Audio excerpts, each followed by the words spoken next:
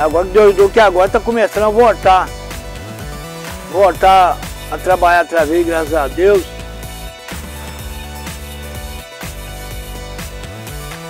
Para nós comerciantes é uma oportunidade, né? Da economia melhorar, né? Para todos, assim, para girar um dinheiro na cidade, sim. Todo mundo ganha com isso, né? Não só a população, mas assim a divulgação da cidade, né? Isso traz atrativos turísticos, tem, sabe? Isso atrai muita gente para a cidade de Goiás.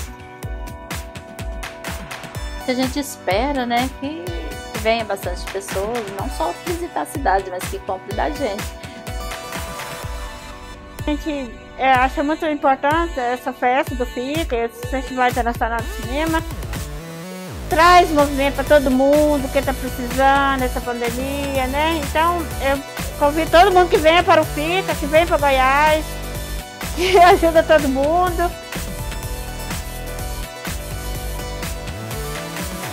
A expectativa é boa, a gente já está preparando mesmo um estoque de mercadoria. Estamos preparando para vender e para atender o turista aqui na cidade, né? Com a, todas as apresentações artísticas presenciais, isso tudo é muito melhor. Realmente as pessoas vêm por causa desse, dessa atividade presencial, né?